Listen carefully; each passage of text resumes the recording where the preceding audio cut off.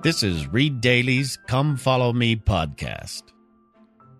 In this podcast series, lesson and scripture audio are combined for a hands free experience.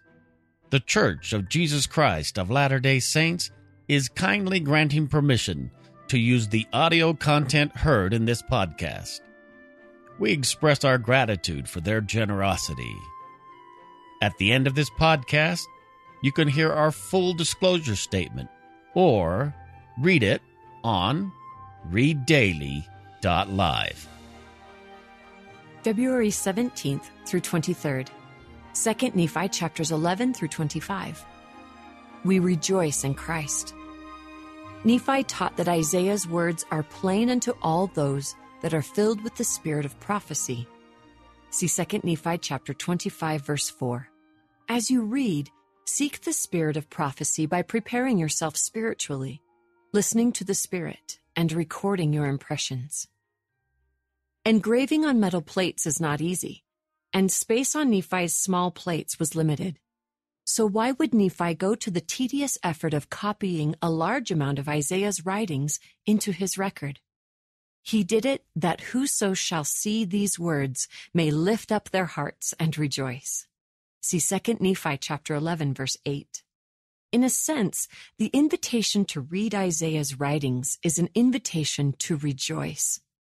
You can take delight, as Nephi did, in Isaiah's prophecies about the gathering of Israel, the coming of the Messiah, and the millennial peace promised to the righteous. You can rejoice that even in a day of trouble and darkness, you have seen a great light. See 2 Nephi chapter 18 verse 22 and chapter 19, verse 2. You can rejoice that you can draw water out of the wells of salvation. See 2 Nephi chapter 22, verse 3. In other words, you can rejoice in Christ. See 2 Nephi chapter 25, verse 26. Ideas for personal scripture study. 2 Nephi chapters 11 through 25. How can I better understand the teachings of Isaiah? Nephi acknowledged that for some, the words of Isaiah are not plain. See 2 Nephi chapter 25 verse 4. Wherefore, hearken, O my people, which are of the house of Israel, and give ear unto my words. For because the words of Isaiah are not plain unto you, nevertheless they are plain unto all those that are filled with the spirit of prophecy. But I give unto you a prophecy according to the Spirit which is in me. Wherefore, I shall prophesy according to the plainness which hath been with me from the time that I came out from Jerusalem with my Father. For behold, my soul delighteth in plainness unto my people, that they may learn. This can certainly be true for those who aren't familiar with ancient Jewish culture and geography, like Nephi was. See 2 Nephi chapter 25 verse 6. But behold, I, Nephi, have not taught my children after the manner of the Jews. But behold, I of myself have dwelt at Jerusalem. Wherefore I know concerning the regions round about. And I have made mention unto my children concerning the judgments of God, which hath come to pass among the Jews, unto my children, according to all that which Isaiah hath spoken, and I do not write them. But Nephi also gave counsel to help us find meaning in Isaiah's writings. Liken his words unto yourself. See 2 Nephi chapter 11 verse 2. And now I, Nephi, write more of the words of Isaiah, for my soul delighteth in his words. For I will liken his words unto my people, and I will send them forth unto all my children, for he verily saw my Redeemer, even as I have seen him. Many of Isaiah's teachings have multiple possible meanings and applications. For example, his writings about the scattering and gathering of Israel might prompt you to think about your need to be gathered back to the Savior. Seek to be filled with the spirit of prophecy. See 2 Nephi chapter 25 verse 4. Wherefore, hearken, O my people, which are of the house of Israel, and give ear unto my words. For because the words of Isaiah are not plain unto you, nevertheless They are plain unto all those that are filled with the spirit of prophecy. But I give unto you a prophecy according to the Spirit which is in me. Wherefore, I shall prophesy according to the plainness which hath been with me from the time that I came out from Jerusalem with my Father. For behold, my soul delighteth in plainness unto my people, that they may learn. The best way to understand Isaiah's prophecies is to seek inspiration from the Spirit. Pray for spiritual guidance. You may not understand everything all at once, but the Spirit can help you learn what you need to know for your life today. You might also find it helpful to refer to the study helps in the Scriptures, including the footnotes, chapter headings, guide to the Scriptures, and so on. 2 Nephi chapter 11 verses 2 through 8, chapter 25 verses 19 through 29. The right way is to believe in Christ. Nephi both introduced and concluded his quotation of Isaiah by expressing his testimony of Jesus Christ. See 2 Nephi chapter 11 verses 2 through 8.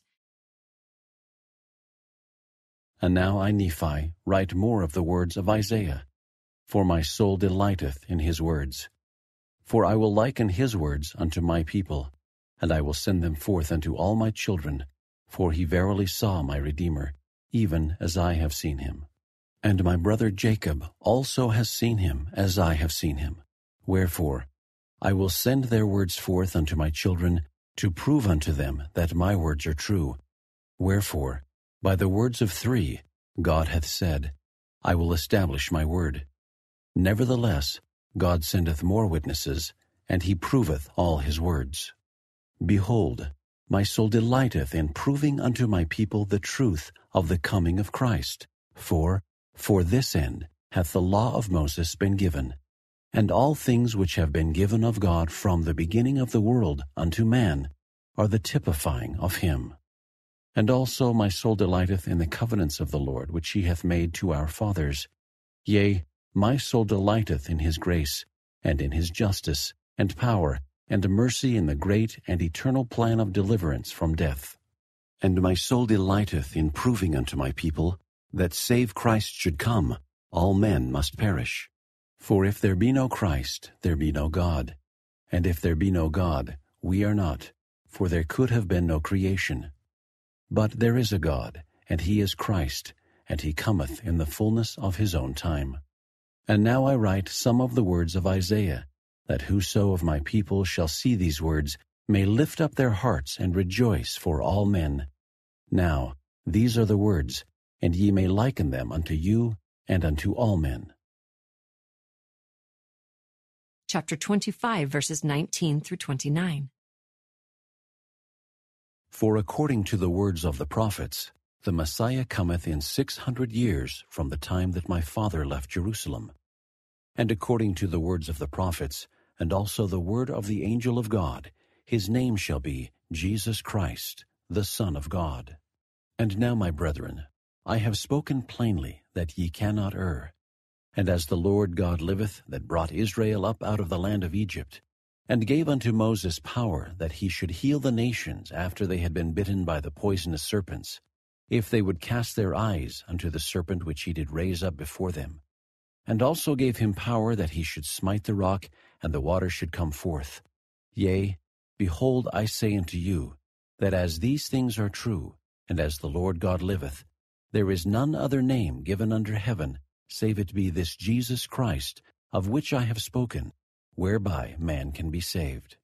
Wherefore, for this cause hath the Lord God promised unto me, that these things which I write shall be kept and preserved, and handed down unto my seed from generation to generation, that the promise may be fulfilled unto Joseph, that his seed should never perish, as long as the earth should stand.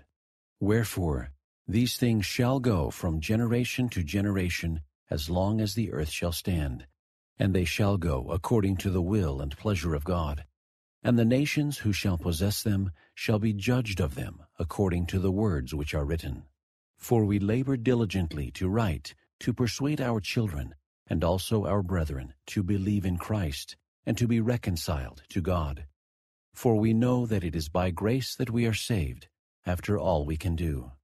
And, notwithstanding we believe in Christ, we keep the law of Moses, and look forward with steadfastness unto Christ, until the law shall be fulfilled. For, for this end was the law given. Wherefore the law hath become dead unto us, and we are made alive in Christ because of our faith. Yet we keep the law because of the commandments. And we talk of Christ, we rejoice in Christ, we preach of Christ, we prophesy of Christ, and we write according to our prophecies, that our children may know to what source they may look for a remission of their sins. Wherefore, we speak concerning the law that our children may know the deadness of the law, and they, by knowing the deadness of the law, may look forward unto that life which is in Christ, and know for what end the law was given. And after the law is fulfilled in Christ, that they need not harden their hearts against him, when the law ought to be done away. And now behold, my people, ye are a stiff-necked people. Wherefore I have spoken plainly unto you, that ye cannot misunderstand. And the words which I have spoken shall stand as a testimony against you. For they are sufficient to teach any man the right way. For the right way is to believe in Christ and deny him not. For by denying him ye also deny the prophets and the law. And now behold, I say unto you that the right way is to believe in Christ and deny him not. And Christ is the Holy One of Israel. Wherefore ye must bow down before him, and worship him with all your might, mind, and strength, and your whole soul. And if ye do this, ye shall in no wise be cast out. What impresses you about his testimony? As you study this week, Think about Nephi's desires to persuade his children to believe in Christ and to be reconciled to God. See 2 Nephi chapter 25 verse 23. For we labor diligently to write, to persuade our children, and also our brethren, to believe in Christ, and to be reconciled to God. For we know that it is by grace that we are saved, after all we can do and note passages that persuade you to believe in and follow Jesus Christ. It might help to remember that many of Isaiah's teachings about the Savior are conveyed through symbols. For example, you may see the Savior in symbols such as the Lord of a vineyard. See 2 Nephi chapter 15 verses 1 through 7. And then will I sing to my well-beloved a song of my beloved, touching his vineyard. My well-beloved hath a vineyard in a very fruitful hill. And he fenced it, and gathered out the stones thereof, and planted it with the choicest vine, and built a tower in the midst of it, and also made a winepress therein. And he looked that it should bring forth grapes, and it brought forth wild grapes. And now, O inhabitants of Jerusalem, and men of Judah, judge, I pray you, betwixt me and my vineyard. What could have been done more to my vineyard that I have not done in it. Wherefore, when I looked that it should bring forth grapes, it brought forth wild grapes. And now go to, I will tell you what I will do to my vineyard. I will take away the hedge thereof, and it shall be eaten up, and I will break down the wall thereof, and it shall be trodden down. And I will lay it waste, it shall not be pruned nor digged, but there shall come up briers and thorns. I will also command the clouds that they rain no rain upon it. For the vineyard of the Lord of hosts is the house of Israel, and the men of Judah his pleasant plant. And he looked for judgment, and behold, oppression.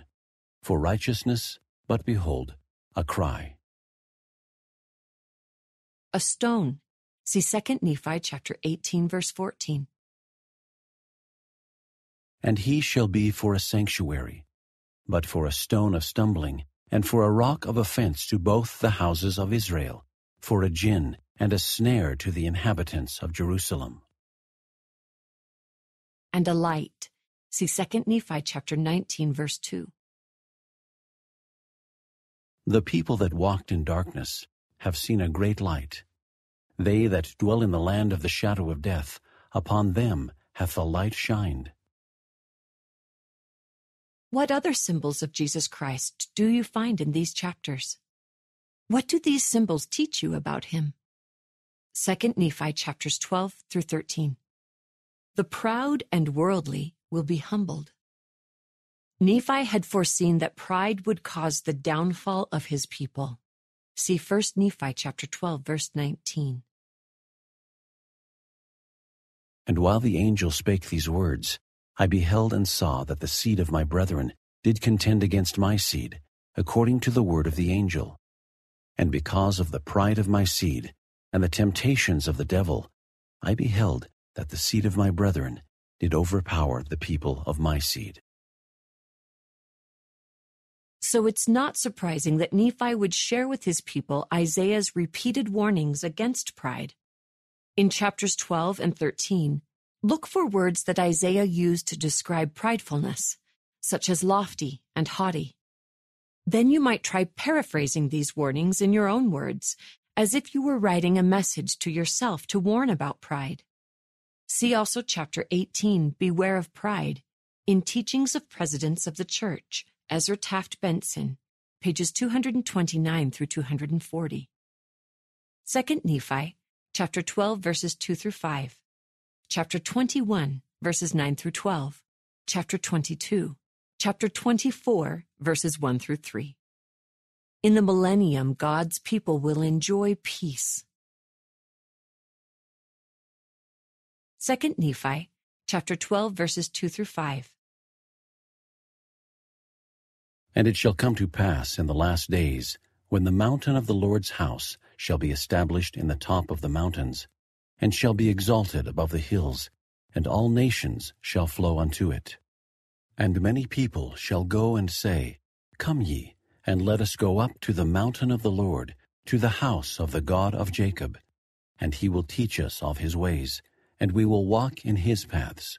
For out of Zion shall go forth the law, and the word of the Lord from Jerusalem. And he shall judge among the nations, and shall rebuke many people. And they shall beat their swords into plowshares, and their spears into pruning hooks. Nation shall not lift up sword against nation, neither shall they learn war any more. O house of Jacob, come ye, and let us walk in the light of the Lord. Yea, come, for ye have all gone astray, every one to his wicked ways. Chapter 21, verses 9 through 12. They shall not hurt nor destroy in all my holy mountain, for the earth shall be full of the knowledge of the Lord, as the waters cover the sea.